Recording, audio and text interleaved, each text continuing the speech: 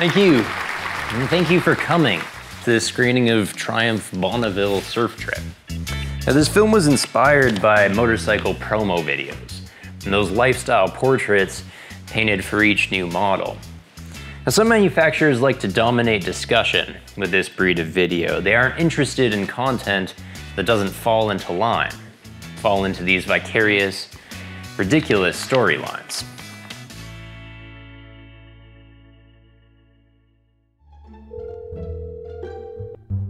Ciao, Paolo. I was wondering if I could borrow a bike. Hello, I'm Ryan F9 and I'd like to review a scram... Rivederci? Yes, uh, this is Valentino, uh, your countryman. Uh, I want to have a good race with Marc Marquez to be competitive tomorrow, uh, but uh, my Yamaha is not very funny. Uh, could I borrow one of your bikes? Honestly, dude, I think the only way we're gonna get a certain Italian stallion is if we prove FortNine can make a promo style video. Okay, first, we're gonna need a character. And Triumph is friendly enough, and they have eight characterful motorcycles to lend. Eight. The classic, the cafe, cruiser, and custom, the cheap one, the fast one, the one from Jurassic World. The only Bonneville that I wouldn't want them to send is. Shit. A T100. Let's shoot close ups from the other side, dude, just because we don't want anyone to see there's a single front disc. The braking feel is a bit wooden. More like just super slow to stop. All right, uh, we also lost the center stand, passenger grab handles, heated grips, and LED running lights off the T120. Just shoot that like super close, we'll flare the lens so no one will be able to tell. Nice. Well, we gotta make this 900cc engine look bigger because it's a downgrade from the T120's 1200. Um, grab the wide angle lens, eh? Huge power plant. Okay, that is everything Triumph cheaped out on. I am absolutely soaked, dude. Let's just go back to the studio. We'll use that hipster flash to draw attention to the good stuff. Bolt-on badging. Traditional Bonnie grip pads. Chrome accents. This thing is a fake carburetor on the T120, eh? I think I prefer it this way. Fake carbs are lame. Respect for the weldless, seamless exhaust shroud. Same for the properly gorgeous dash and blood red sparker caps. Okay, that's it, buddy. Let's go shoot corners. Okay.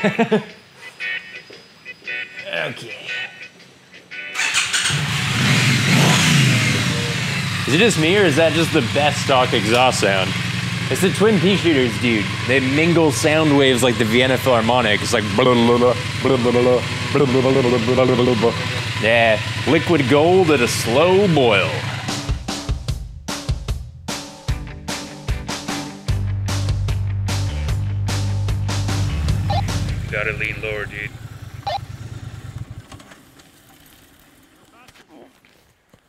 I can't lean any lower, man. I'm on the peg.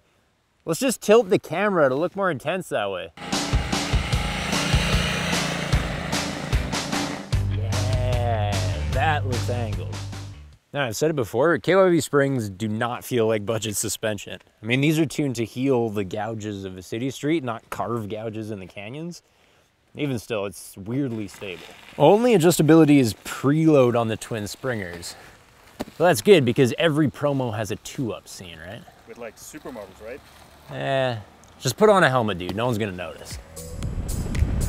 Well, the bike rides like we're weightless supermodels. And the 54 horsepower is low, but the 59 torques are lower. Most of them come below 3,000 RPM like a Harley, so the engine feels bigger than it is. It just floats us featherweights forward, like riding a wave.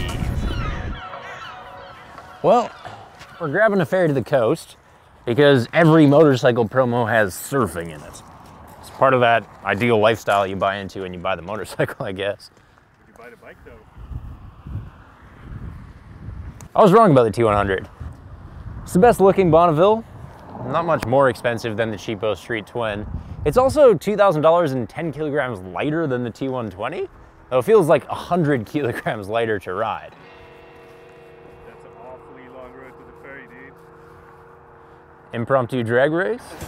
Okay, this is classic promo video.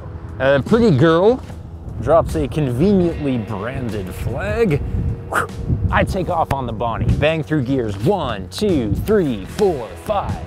I'll time that all out to the beat from some kitschy song about freedom or self-discovery or whatever. No, not even close, dude. I'm trying to use the high torque engine to get away with the weirdest, wonderfulest ratios. Right, give her. First, long enough for all of city riding. And then second, third, very short so I can play with my shift lever in the canyons. And then fourth, fifth, long again to make up for the lack of the T120 sixth gear. Well, we always run it to the limiter for a tach shot, but in real life, nah, you wouldn't. And the parallel twin is so mellow, asking it to run above 5,000 is just like asking a pothead to run a 5,000 meter sprint. The performance is underwhelming, and he'll shake and complain the whole time.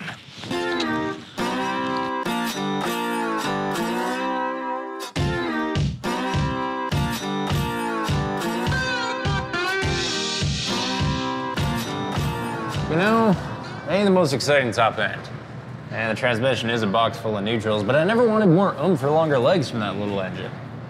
The littler engine's closer to the original Bonnevilles anyway, which is kind of the point. Of course, won't get to make that point. This is a promo video. Point is surfing.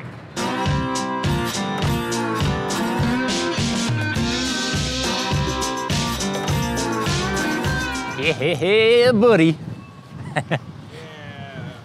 Wait, where are we gonna put that? Uh, I don't know actually. In the promos, they always just appear at the beach.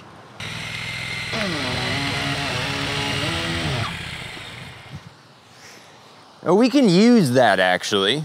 And say we take the famous Rollie Free photo from the Bonneville Salt Flats, maybe the original 100 mile per hour T100 from 1939, and make this collage of hipster heritage pics, use it to slip in the boring spec stuff. And top speed only 10 miles quicker than it was eight decades ago. Reliable as taxes, service intervals 60% longer than the bigger Bonnies. I mean, nobody really wants to wade into that stuff anyway. They normally do the cliche running into the water shot in bikinis, and they normally have actual waves to ride. But they shoot promo videos in California. This is Canada, and we picked a very cold, very calm day to go surfing. Ugh.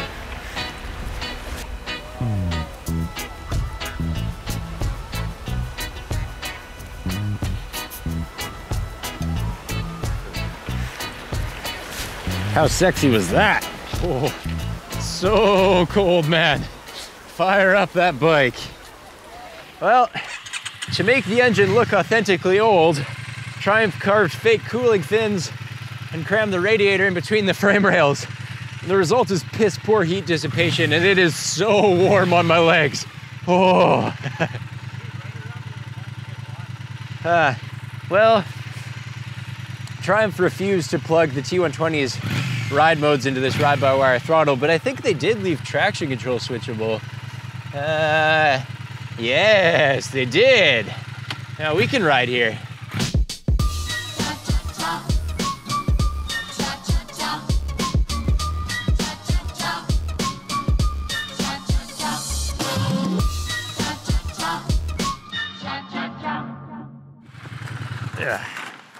Yo, five million star hotel room, F9 production budget very high.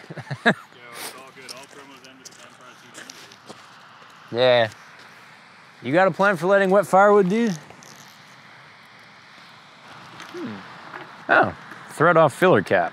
Well, that's old school. Eh, 18% better fuel economy than the T120. Should give us a 300 kilometer range. Yeah, we should have more than enough to get back to the ferry. All right. Last shot team. we're gonna pretend that we are impossibly good friends having an authentic time. Certain Italian brands always end promos that way, so we'll tell a story and you all laugh really hard. Bonnevilles aren't the most exciting bikes. Now they have this one killer feature. If you close your eyes and imagine riding a motorcycle and then freeze, well, that is exactly the ergonomic of a Bonnie. And that's why they feel so intuitive, that's why everybody loves them. Now laugh or you won't get any dinner. right? Authentic. So funny. yeah. So, without further ado, Triumph Bonneville Surf Trip.